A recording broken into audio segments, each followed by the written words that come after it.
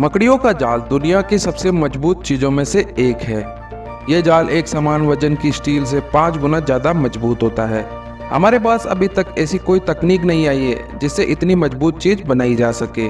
Funnel web spider नाम की मकड़ी एक बहुत ही जहरीली मकड़ी होती है। इसका जहर सिर्फ़ 15 मिनट में किसी भी इंसान को मौत की नींद सुला सकता है। आपने देखा होगा कि मनुष्यों के शरीर में मांसपेशियाँ बाहर की ओर और, और हड्डियाँ अंदर की तरफ़ होती है। लेकिन मकड़ियों में ये बिल्कुल उल्टा होता है। उनके अंदरूनी हिस्सों में मांसपेशियाँ होती है और कंकाल बाहर की तरफ़ होता है। मकड़ियों का कंकाल उनकी मांसपेशियों की सुरक्षा करता है। मकड़ियाँ अपने जाल को रिसाइकल भी करती है। जब उनके जाल की चिपचिपाहट कम होने लगती है, तब मकड़ियाँ पुराने जाल को बालों की तरह इकट्ठा करके उस पर अपने पेट में से एक तरह का एसिड डालती है, जिससे वह जाल लिक्विड में बदल जाता है और फिर मकड़ी उसे पी जाती है। और फिर से नया जाल बनाती है।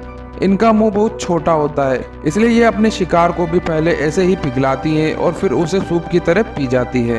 कुछ दुर्लभ मामलों में, कुछ मकड़ियों के काटने से रक्त विकार हो सकता है, जैसे ब्राउन रेडियोस वनम स्पाइडर, लाल रक्त कोशिकाओं के फटने का कारण बन सकती है। इनके काटने से गुर्दों की खराबी और पीलिया होने की संभावना होती है। एक मादा मकड़ी एक बार में तीन हज़ार से ज़्यादा अंडे दे सकती है। और इसके एक अंडे में मनुष्य से चार गुना ज़्यादा डीएनए होता है। एक अकेली मकड़ी से कई देशों की जनसंख्या जितना डीएनए प्राप्त किया जा सकता है। मकड़ियों और घोंगे का खून का रंग नीला होता है, क्योंकि इनके खून में लोहे की जगह तांबा पाया जाता है। अधिकांश मकड़ियाँ सिर्फ़ एक से दो साल तक ही ज़िंदा रहती है, लेकिन कुछ प्रजातियाँ 20 से ज़्यादा साल तक भी जीवित रह सकती हैं। मकड़ी अपने पैरों को अंदर की तरफ़ मोड़ तो सकती है लेकिन फिर से पैरों को सीधा करने के लिए उसे अपने शरीर से पानी की तरह तरल पदार्थ अपने पैरों में पंप करना पड़ता है। यही वजह है कि एक मरी हुई मकड़ी के पैर हमेशा मुड़े हुए होते हैं। गोलायत मकड़ी विश्व की सबसे बड़ी मकड़ी है। ये 11 इंच तक चौड़ी होती है और इस ये 11 इंच तक चौड़ी होती है और इसके नुकीले पैर एक इंच तक लंबे होते हैं। यह मेंढक, छिपकली, चूहे और यहाँ तक कि छोटे सांप और पक्षियों का भी शिकार कर सकती है। दुनिया में सबसे घातक मकड़ियों में ब्लैक विडो, फनल वर्क और ब्राउन रिड्यूस स्पाइडर शामिल हैं। दुनिया में डरावनी माने जाने वाली मकड़ियों में से एक टेरिकुला है, लेकिन आश्चर्यजनक रूप से इसका जहर ज़्यादा विषैला नहीं होता है और इसका डंक ततैया के डंक के समान महसूस होता है। मकड़ी की एक प्रजाति है, जिसे डाइविंग वेल स्पाइडर कहा जाता है। यह अपना पूरा जीवन पानी के अंदर बिताती है। इनके शरीर की बनावट की वजह से ये ऐसा कर पाती है। ये ऑक्सीजन के लिए सतह से हवा के बुलबुले बनाकर उन्हें इकट्ठा करती है और उन्हें अपनी पीठ पर रखती है और बाद में ज़रूरत पड़ने पर उसका उपयोग करती है। जापान, अफ्रीका, दक्षिण अमेरिका और उत्तरी अमेरिका में पाए जाने वाली ड्रैप स्पाइडर बाकी मकड़ियों की तरह जाल बनाकर नहीं रहती, बल्कि यह आजीवन मिट्टी के अंदर तिल बनाकर रहती है। वह घात लगाकर अपने शिकार का इंतज़ार करती है और पास से गुजरने पर उसे पकड़ लेती है। एक मकड़ी एक साल में लगभग 2000 कीड़े खाती है और सभी मकड़ियाँ एक साल में लगभग ब्रिटेन की कुल आबादी के वज़न जितने कीड़े खा जाती है, इतना तो सभी पक्षी और चमकादड़ मिलकर भी नहीं खाते हैं। दुनिया में सबसे विषैली मकड़ी ब्राजीलियन वॉर्डिंग स्पाइडर या बनाना स्पाइडर है। ये आक्रामक मकड़ी भोजन की तलाश में मध्य और दक्षिण अमेरिका के ऊँचे जंगलों में पाई जाती है। इसके जहर की थोड़ी सी मात्रा ही मनुष्य की मौत के लिए पर्याप्त है।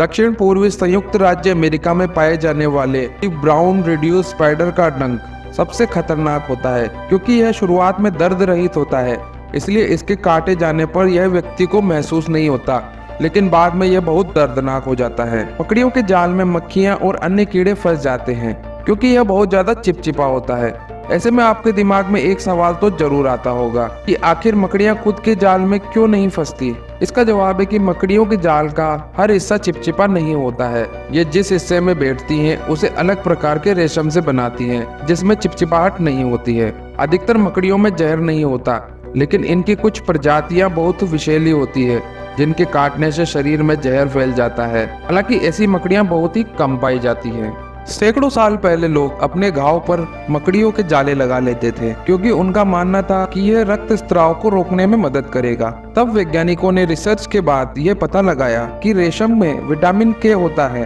जो रक्त स्त्राव को कम करने में मदद करता है। मकड़ी की रेशम ग्रंथि से निकलने वाला रेशम तरल होता है, लेकिन हवा के संपर्क में आते ही यह कठोर हो जाता है। मकड़ियों के शरीर में सात प्रकार की रेशम ग्रंथियाँ होती है, जो अलग अलग प्रकार का रेशम बनाती है। जैसे चिकनी, चिपचिपी, सूखी या खिंचाव वाली मकड़ियाँ हाइड्रोलिक पावर की वजह से चल पाती है। इनकी रीढ़ की हड्डी नहीं होती है। इनकी लगभग सभी प्रजातियाँ मनुष्य के लिए थोड़ी बहुत हानिकारक होती है, लेकिन इनके काटने से बहुत कम लोगों की मौत होती है। एक मकड़ी के 48 घुटने होते हैं, इसके कुल आठ पैर होते हैं और प्रत्येक पैर पर छह जोड़ होते हैं। मकड़ियाँ पानी पर चल सकती है और उसमें सांस भी ले सकती है। ये अपने सभी पैरों को फैलाकर अपने वज़न को बराबर बांट लेती है, जिससे ये पानी में आसानी से संतुलन बना सके। टेरेंटुला मकड़ी अपने जहर से दो दिन के अंदर एक चूहे के शरीर का मांस पिघला सकती है। केवल मादा ब्लैक विडो स्पाइडर का काटना खतरनाक होता है। नर ब्लैक विडो स्पाइडर मादा स्पाइडर की तुलना में आकार में बहुत छोटे होते हैं और मनुष्य के लिए कम हानिकारक होते हैं। मकड़ी का जहर सांप के जहर के मुकाबले ज़्यादा महँगा बिकता है। रूस के एक गाँव में मकड़ी के जहर की कीमत बीस हज़ार रूबल तक है। मकड़ियाँ चीटियों से डरती है, क्योंकि इनमें फॉर्मिक नामक एसिड पाया जाता है। घरों में पाए जाने वाली अधिकांश मकड़ियाँ बाहर ज़िंदा नहीं रह सकती, क्योंकि उन्होंने घर के अंदर ही अपना जीवन अनुकूलित कर लिया है। नर मकड़ी के पास लिंग नहीं होता, बल्कि यह चेहरे के साथ सेक्स करते हैं। पृथ्वी पर जनसंख्या की बात करें तो मकड़ियाँ सातवें नंबर पर आएँगी। यदि एक मकड़ी तेज़ी से भागती हुई दिखे तो इस बात के बहुत ज़्यादा चांसेस हैं कि वो सेक्स करने के लिए साथी ढूंढ रही है। कुछ नर मकड़ियाँ मादा मकड़ियों को मरी हुई मक्खियाँ उपहार में देते हैं तो दोस्तों, आपको ये वीडियो कैसी लगी, हमें कमेंट करके ज़रूर बताएँ और चैनल को सब्सक्राइब करना ना भूलें और बेल आइकन ज़रूर दबाएँ।